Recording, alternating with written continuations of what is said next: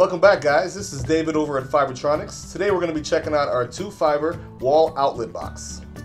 So this little box is really geared towards more of a smaller fiber optic application, uh, such as in the office or leading to a desk. We also recommend that it is used indoors just for the lack of weatherproofing. Now we're going to take a closer look at our two fiber outlet box. Now when you receive this kit, you're going to be getting our accessory pack here. Now we've set up a little demo in the box itself. We have our two fibers running in and out of it. The one coming in is going to wrap around here into our splice sleeve, which matches up to the other fiber, and out this way. So just some of the features that you can look forward to when you're receiving this box is that it is so small and simple to use. It's made out of high grade plastic, it's very easy to install as you can see from our screw holes in the back, and this maintenance is even simpler than that.